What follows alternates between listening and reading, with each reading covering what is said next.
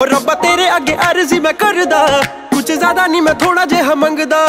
ਇੱਕ ਬੰਗਲਾ ਪਵਾ ਤੇ ਦੂਜਾ ਦੁਨੀਆ ਘੁਮਾ ਦੇ, ਤੀਜਾ ਬਣ ਜਾ ਮੈਂ ਸੁਪਰਸਟਾਰ ਯਾ ਫਿਰ ਮੈਂ ਤੇ ਮੇਰੇ ਯਾਰ ਘੁਮਾਂਗੇ।